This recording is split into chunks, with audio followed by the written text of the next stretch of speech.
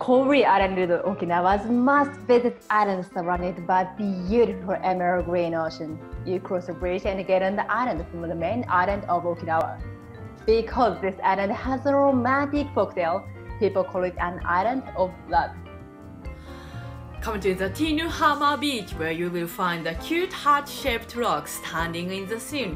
It's naturally made by erosion and Kouri Beach is one of the most beautiful and renowned beaches in Okinawa.